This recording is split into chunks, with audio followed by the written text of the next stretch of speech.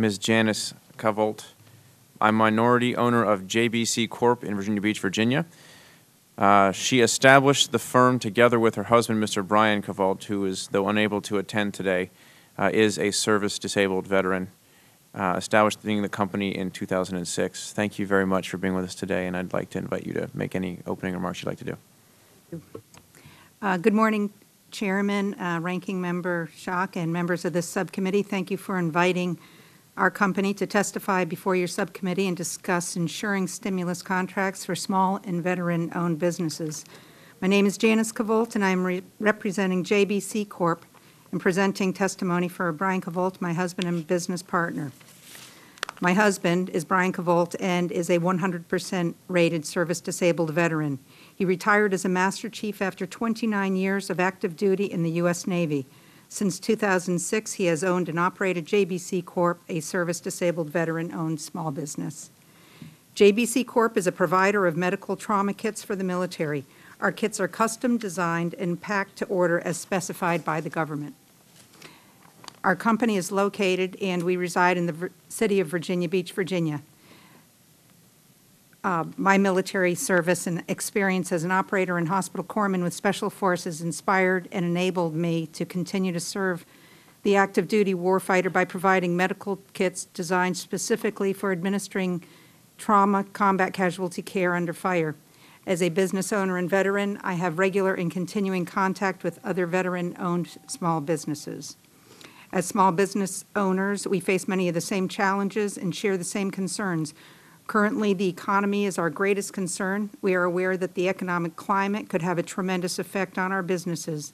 We recognize that it is important that we position ourselves and not be vulnerable to the unfair practice of not being able to bid on contracts that are automatically assigned to prime vendors. The government has a variety of ways to purchase the items required for its many agencies and departments to conduct business. Although the requirements and methods vary, it seems the common objective for the government is to obtain quality products at reasonable prices with reliable availability while providing an opportunity for U.S. businesses to progress and become an integral component in the economy. One method of procurement the government employs is the prime vendor contractor. The prime vendor was created to enable the government to purchase products from manufacturers who do not have contracts of their own with the government.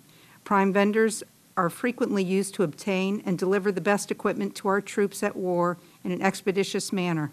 Prime vendors can be used to bypass contracting personnel to expedite orders and eliminate the requirement of justification for purchasing a superior, reliable product over a less expensive, inferior model with unknown reliability. While the reasons stated here seemingly justify the use of prime vendors, it is my belief that the very system created to improve the procurement of products for our military does not work in a way that promotes or ensures economic growth and stability for small businesses. Further, the system does not protect the government from excess wasteful spending and in many cases does not adequately serve the end users of those purchased products. The prime vendor is a giant in the government procurement system. As such, they exercise great power over the small business who is trying for the opportunity to get their product to market. Sometimes that power becomes abusive. A small business may take years to develop a product, show it to an interested party, and then find that their only recourse to sell in any large volume requires a prime vendor be involved. Refusal to accept the terms of business from a prime vendor is a no-win option, as to do so puts your product at risk, as it is not uncommon for the prime vendor to take your product and actively pursue manufacturers that will produce it for them. The tactics used by many prime vendors to take advantage of the small business are coercive and frequently test the ethical standards of business. We were invited to do business with, with different prime vendors on two separate occasions when our product was being sought for purchase. In both instances, we were pressured to get an agreement in place quickly so that orders could be received. The main issues addressed in both agreements were the price, payment terms, and consequences for default. Both PVs wanted a preferred price, going so far as to say they needed room to get additional points in their markup. As manufacturers, we calculate our sell price by taking the actual cost of the items, adding our labor, other overhead costs, and factoring a conservative markup. We have found that in most cases, the prime vendor's markup often matches our profit. The idea that both entities make the same profit when the work for each is considerably different does not seem fair or equitable. It is the attitude of the prime vendors we have done business with that makes us reluctant to keep doing business through such a vehicle. And in the interest of time, I'm going to jump ahead here, um, just to what our suggestions are, or what we have observed.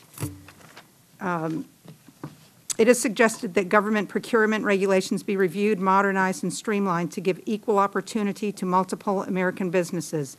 In addition, is- it is an opportunity to renovate a system that has become inefficient and that places cost containment and the ability to provide items in a timely manner secondary to finding the easiest way to push an order through. There are procurement methods in place and available that, with modification, could significantly elevate the opportunity for small businesses to compete. Uh, Those would include uh, being able to raise limits that credit cards can be, can be used. Sole source contracts could, should go directly to the manufacturer of the product. And um, I'm out of time, but I thank you for your, for, for the time to be able to present. This is my oral testimony, but my statement is in its full edition, and I would appreciate if you would take the time to read it.